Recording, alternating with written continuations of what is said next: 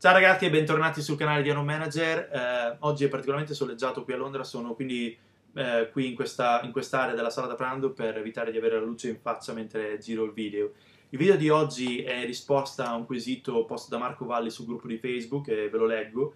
Eh, dice Francesco, dici che può essere interessante una miniserie di 2-3 video dove racconti in 5-10 minuti come ti prepari alle gare, concentrandoti su alimentazione, integrazione ed allenamento visto che altri ragazzi hanno messo mi piace a, questo, a questa topic, a questa domanda eh, da parte di Marco Valli, poi altri ragazzi hanno detto che è una buona idea come Aldo Vailant o eh, Davide Pascuzzo e Patrick Serafino, quindi ho deciso che poteva essere una buona idea eh, fare appunto questo video eh, veloce. Sicuramente si tratterà di un video e non di una miniserie perché penso di poter rispondere al quesito eh, in un semplice video e poi ovviamente eh, tutto è basato sulla mia esperienza personale, che può essere ovviamente diversa da altri atleti agonisti, è basata sulla mia esperienza eh, che consiste eh, nella preparazione di 10 gare negli ultimi due anni e mezzo, quindi sicuramente posso dire di non essere un veterano eh, nel campo agonistico. E eh, la mia eh, preparazione alle gare è basata su eh, diciamo, metodologie o esperienze passate, non quelle che seguirò adesso che appunto sono seguito da un altro personal trainer, quindi da, non so ancora come Gabriele mi preparerà alle gare, alle gare future. Sicuramente quello che ho imparato dalle gare passate mi servirà appunto per migliorare, per evitare errori eh, nelle gare future, come dovrebbe essere sempre, cerchiamo di migliorare eh, dai nostri errori. Quindi guardando un attimo le categorie di cui si riferiva eh, Marco, la dieta, credo di aver parlato esaustivamente del, dell'argomento, quindi eh, ho parlato come impostare una dieta ipocalorica per cercare di ridurre eh, la massa grassa e eh, preservare il più possibile la massa, la massa magra. E ovviamente questo consiste in una graduale riduzione eh, delle calorie eh, nel tempo e eh, cercare di raggiungere l'obiettivo che può essere appunto il giorno della gara o la settimana della gara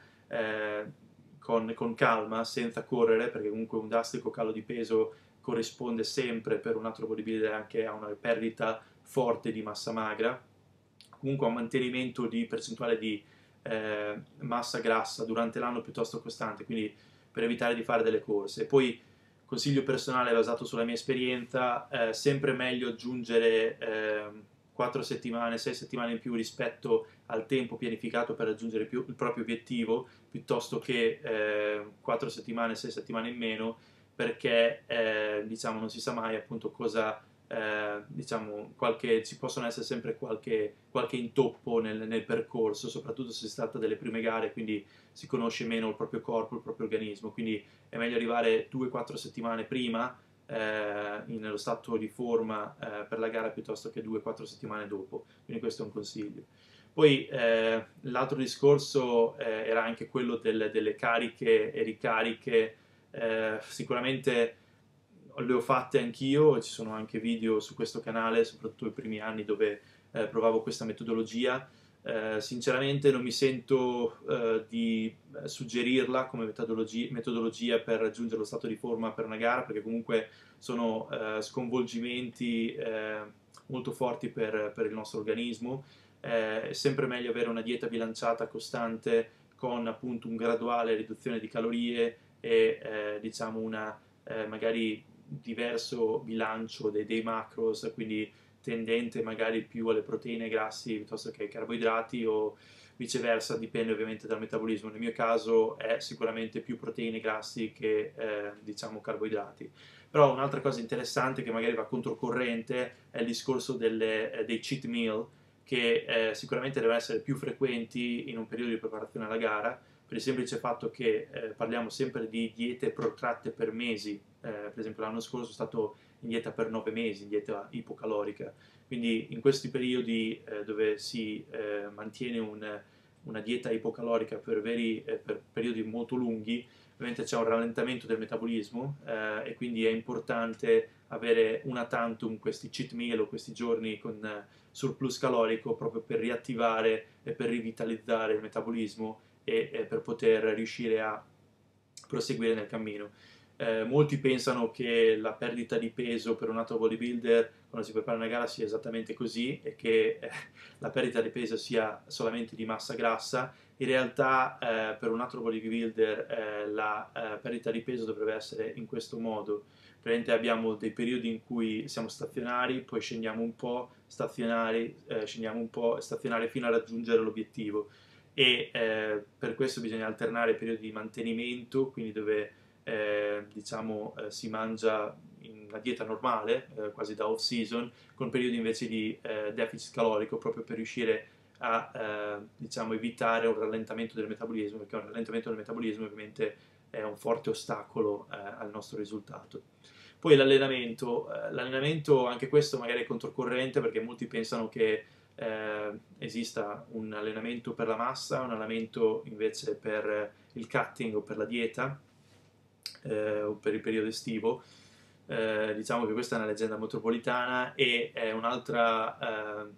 diciamo, eh, leggenda è che appunto d'estate bisogna fare più serie, bisogna stare di più in palestra perché ovviamente eh, la concezione e l'associazione con il cardio, più corri, più bruci, allora più stai in palestra e più lavori con i muscoli, più i muscoli diventano taglienti o più crei tagli nei muscoli. Abbiamo parlato anche sulla sagra dei luoghi comuni in palestra come diciamo una delle leggende popolari appunto che popolano gli spogliatoi delle palestre. In realtà per un natural bodybuilder quando è in preparazione a gara, quando ha una dieta ipocalorica, meno tempo passi in palestra meglio è, quindi sicuramente invece di fare eh, un'ora, un'ora e mezza, 3-4 volte a settimana come magari in un periodo off season, cercare di tenere sessioni da eh, 30-25 minuti 5 volte a settimana con una altissima intensità eh, proprio per evitare un aumento di cortisolo e ancora cercare di eh, preservare il più possibile la massa, eh, la massa magra. Poi eh, per quanto riguarda il sottoscritto eh, non è un grosso problema, devo dire che sono fortunato da questo punto di vista,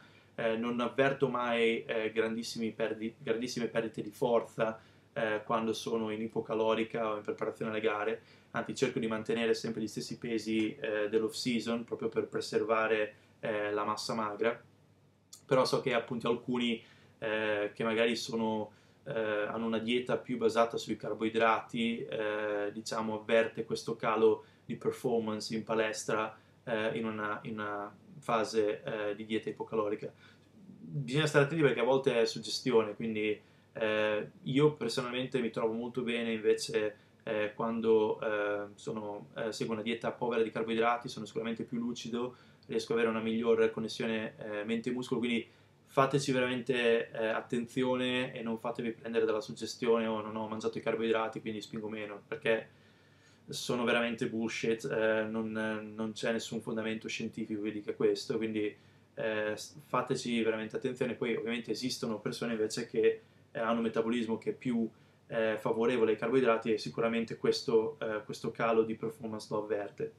Poi un altro suggerimento eh, che darei per la preparazione della gara è quello delle pose, quindi pose, pose, pose, soprattutto se si tratta della prima gara, cercate di cominciare a, a imparare o provare le pose anche mezz'ora eh, al giorno, eh, 8 settimane, 10 settimane prima della gara, è particolarmente importante e io stesso devo migliorare eh, questo perché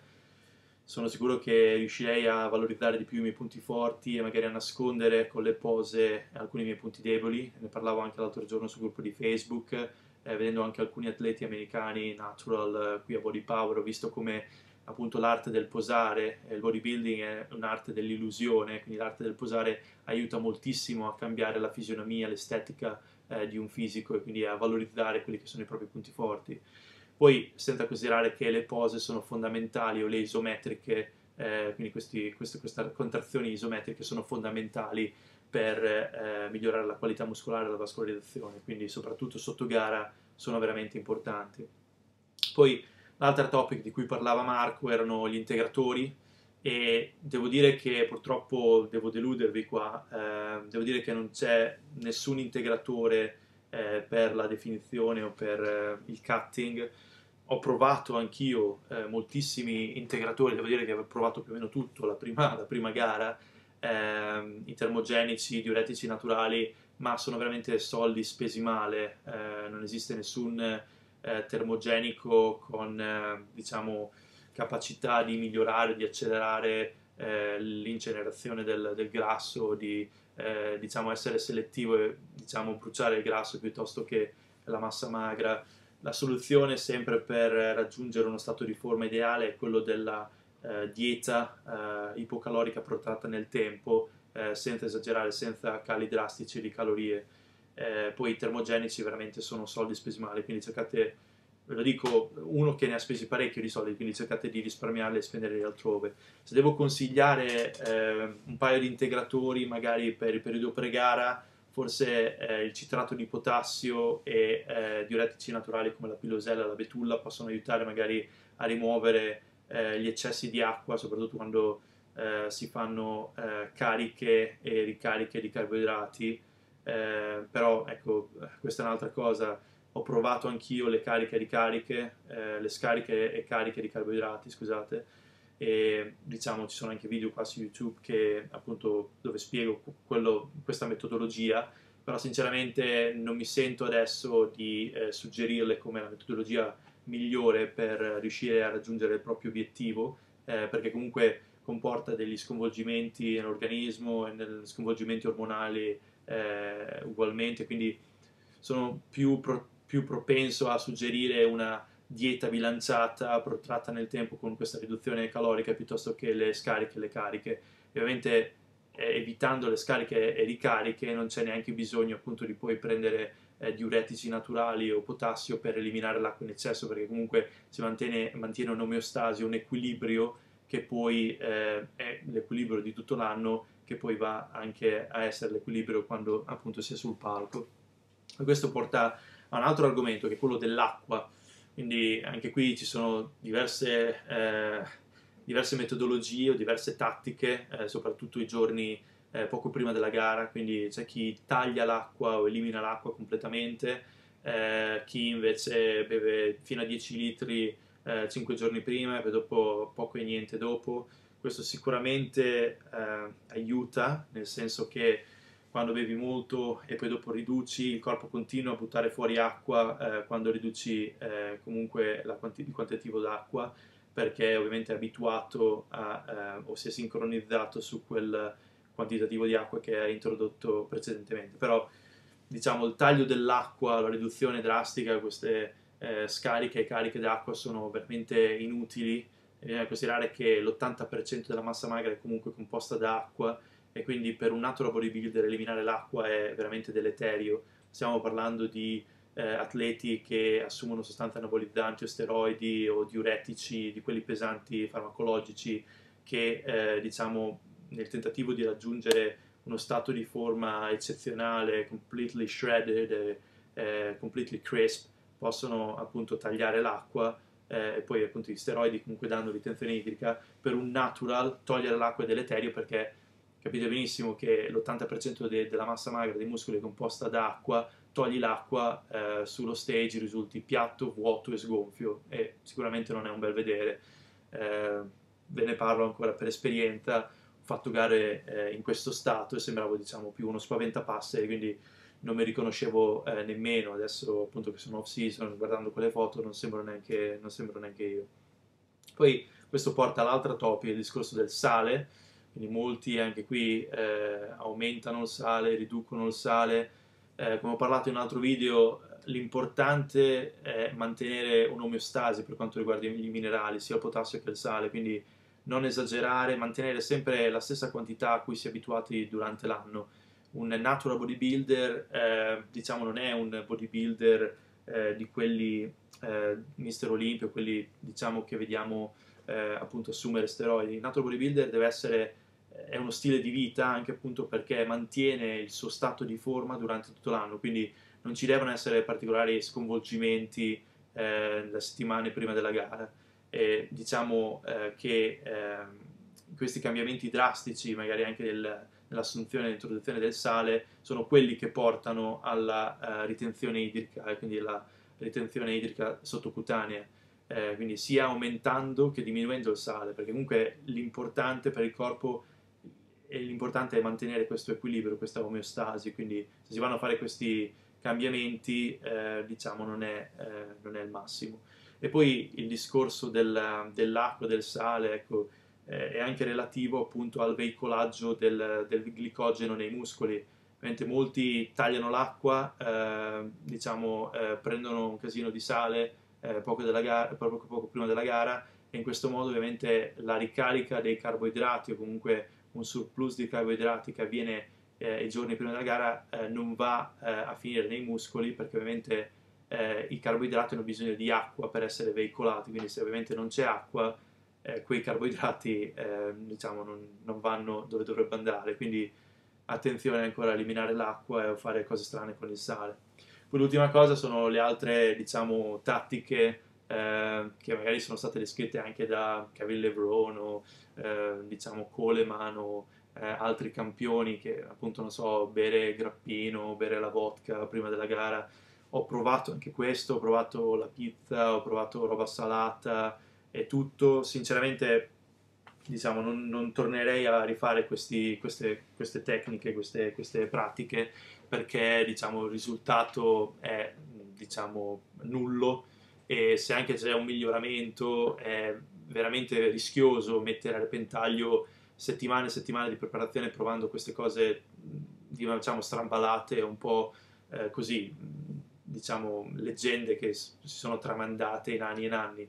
Ripeto per un natural bodybuilder è diverso rispetto a un atleta eh, che assume eh, steroidi o sostanze anabolizzanti. Per un natural bodybuilder l'equilibrio e quindi natural come stile di vita è fondamentale e quindi non c'è bisogno di fare eh, cose straordinarie, ma progressivamente pianificare tutto per tempo, questo è l'obiettivo, questa è la data della gara, ok, comincio la dieta ipocalorica, riduco le calorie, cheat meal per diciamo riattivare il metabolismo finché appunto si arriva all'obiettivo. Poi l'ultima settimana dovrebbe essere una settimana in discesa, non, so, non, è la settimana dove si fanno cose strane o cose strampalate, è la settimana dove bisognerebbe rilassarsi il più possibile, gambe all'aria, cercare di pensare alla gara, ricordare le pose, ricordare la routine e prenderla proprio come un divertimento, dovrebbe essere un piacere salire su quel palco e, veramente mettere eh, in gioco eh, tutto quello diciamo, che eh, si è eh, costruito in un anno, due anni o nella propria preparazione. Quindi questo è tutto, uh, guardiamo quanto tempo ho fatto, sono uh, quasi 20 minuti, ok, abbastanza lunghetto, forse aveva ragione Marco. Comunque questa è la mia opinione, questa è diciamo, la mia prospettiva sull'argomento, se avete eh, altre diciamo, usanze o altre tattiche eh, di preparazione alla gara fatemi sapere, sono felice di, di, provare o di condividere con voi anche eh, altre, diciamo, altre idee o altre, altre tattiche, tattiche strategie. E fatemi sapere se vi piace il video, eh, ricordatevi di iscrivervi al canale, di condividere eh, il canale e il video anche con i vostri amici, visitare le pagine di Facebook, quindi il gruppo di Iron Manager, eh, MySap e la sagra dei luoghi comuni in palestra. E questo è tutto da Fran, grazie e ciao!